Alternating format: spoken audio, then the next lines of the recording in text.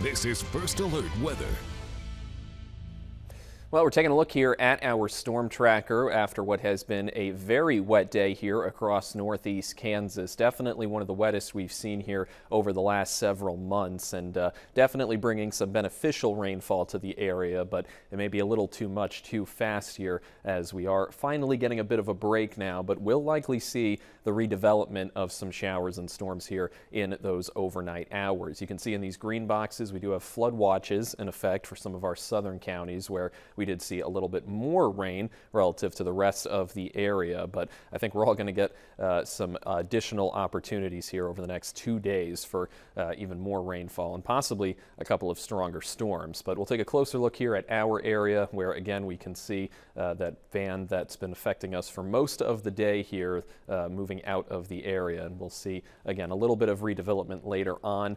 Uh, we do have uh, a little bit of some totals here from our uh, stations across the region, about an inch and a half in Topeka, uh, 2.75 in Emporia today. Uh, so we're almost getting there to three. We may even get to three before the night is done if we see that rain redevelop a little bit sooner rather than later. A little over an inch in Manhattan and very little out in Concordia and Marysville, the far northwestern reaches of our area. We're sort of the safe spot today from seeing as much rainfall, but everyone still managed to pick up at least a little bit bit. And for that, we are thankful to help alleviate those drought conditions, sort of get us uh, back in the running for normal amounts of rainfall up to this point in the fall season. But we will see additional rainfall again here for Sunday and also Monday as well. Those chances are still pretty high. And I think we could see some stronger storms mixed in there with uh, some of the showers that we have seen today. Here's a look at that risk for tomorrow here. It's further west.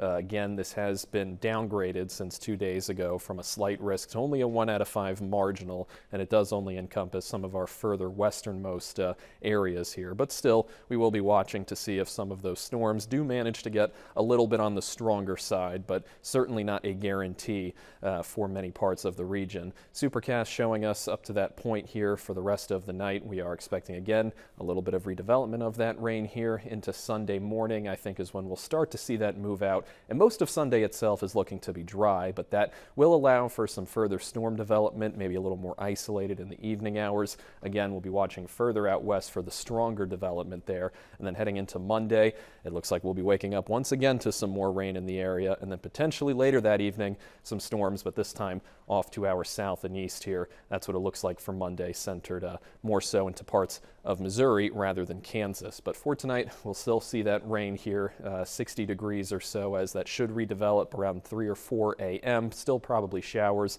More storms for tomorrow, especially in the afternoon. And it looks like Monday will show us more of the same here before things do dry out by